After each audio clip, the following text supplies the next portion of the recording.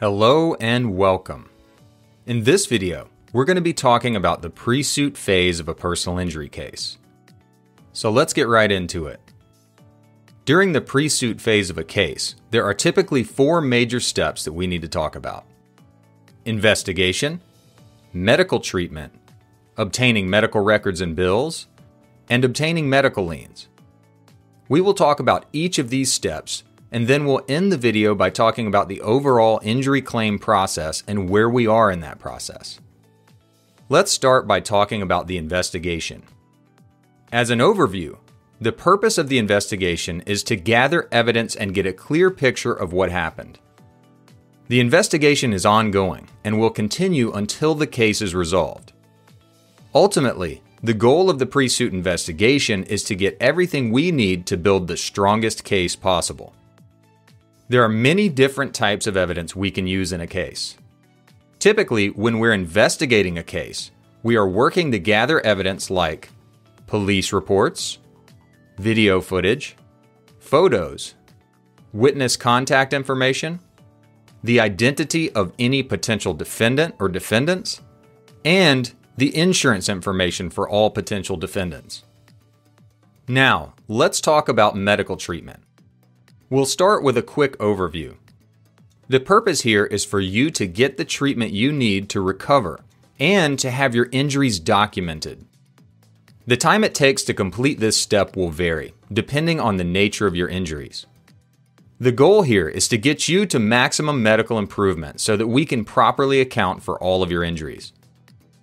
When you're going through your medical treatment, Keep in mind that the defense will usually try to make two main arguments when it comes to valuing your injuries.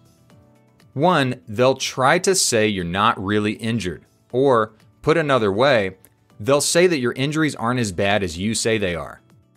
And two, they'll try to blame you by basically saying that your injuries are your fault, or, in the context of medical treatment, that you didn't do your part to reduce the severity of your injuries.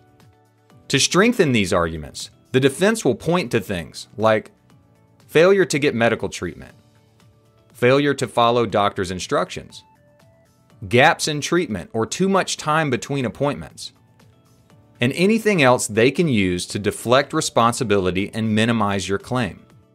So, there's a couple of things you can do to strengthen your case when completing medical treatment. For one, you need to be sure you get medical treatment for your injuries. You need to follow any instructions your doctors give you. And you need to go to your scheduled appointments and avoid significant gaps in treatment. If you do your part, you can take away some of the defense's strongest arguments. Now, let's talk about the process of obtaining medical records and bills. Let's start with a quick overview. The purpose here is to gather all your medical records and bills from every medical provider that has treated you for your injuries.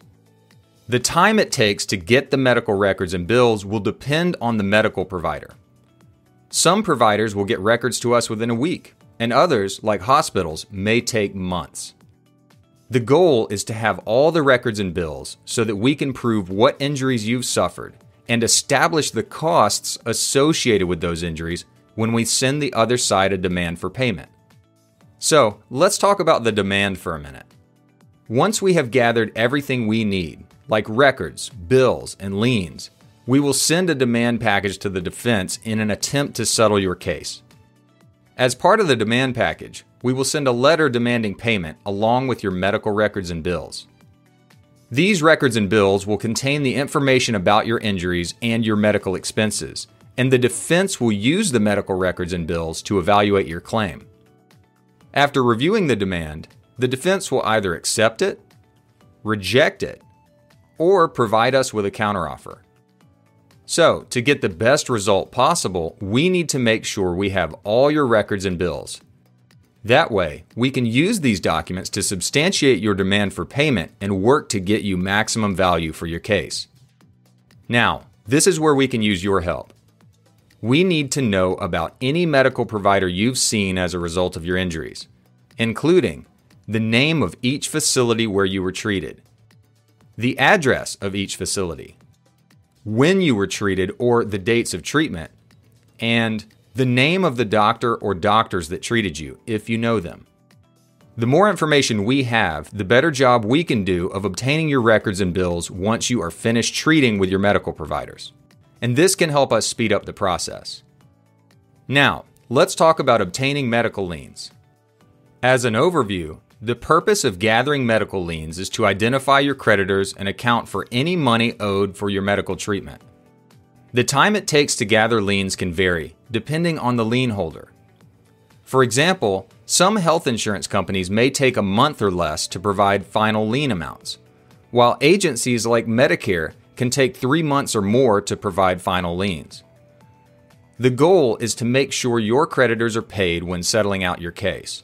That way, we can work to avoid any surprise bills later on. Now, let's talk about what a medical lien is. A medical lien in a personal injury case is a legal claim that a healthcare provider, insurance company, or agency has on a settlement to recover money spent on a person's medical treatment. So here's how that works the patient goes and gets medical treatment without paying up front. Then, the lien holder asserts a lien saying they want to be paid from any recovery in the case. And then, the lien holder gets paid out of the settlement once the case resolves. The lien holder essentially acts as a creditor. So, what are some common examples of lien holders? Well, a lien holder may be a medical provider or a third party payer. An example of a medical provider that might assert a lien is a hospital or a doctor that treated you and did not get paid for that treatment. An example of a third party payer that might assert a lien on a settlement is a health insurance company that paid for your medical bills. Another example of a third party payer that might assert a lien is a government agency that paid for your medical treatment, like Medicare or Medicaid. Now, as we go through this process of obtaining medical liens, there's some information we need from you. Specifically, we need any information that will help us to identify potential lien holders including any medical providers that treated you, your health insurance information, Medicare or Medicaid information, and the information for any entity or agency that may have made payments for your medical treatment. Once we have the final liens, we can get a better picture of how much money you'll have to pay the lien holders from your settlement. Now, let's finish up by looking at a timeline and talking about where we are in the injury claim process. Typically, by the time we reach this phase in a case, we've had a legal consultation. You would have also signed the documents that make you our client. After that, we typically send out an initial packet of documents to put the other side on notice of the injury claim and to request insurance information. After reviewing the information we receive from the other side, and if we determine that there's money available to pay the claim, we move into the pre suit phase of the case. This is the phase we've talked about in this video. We will investigate the case, you will get medical treatment, we will work to obtain medical records and bills, and we will work to obtain any medical liens. Once we receive your medical records and bills, and once we've obtained the information regarding liens, we can move into the demand phase of the case. After we send a demand and initiate settlement discussions, we can work to negotiate with the other side and attempt to settle your case. After that, we either reach a settlement or we file a lawsuit and move into litigation. We'll talk more about that in detail later on. Well, that's all I have for you in this video. Thank you so much for watching.